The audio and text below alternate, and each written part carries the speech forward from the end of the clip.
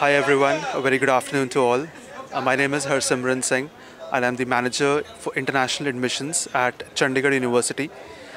We are a 200 acre campus university located on the outskirts of Chandigarh and uh, I'm here in Tanzania.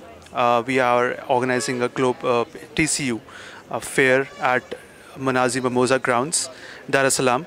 I would request every student who is looking forward to study in India to visit at uh, our stall and uh, know about more about the programs we're offering. Uh, the programs we're offering are linked to uh, bachelor's, uh, postgraduate, and uh, mas- uh, PhD.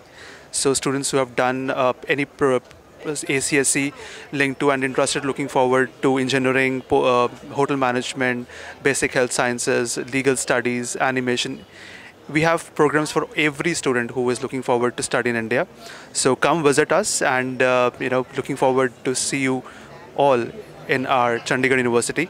Uh, we are uh, uh, the upcoming session is for it's, uh, it's August next month and uh, we have a good accommodation facilities as well available inside the campus uh, with good meals uh, specifically uh, cons- considering the local cuisines all over the world.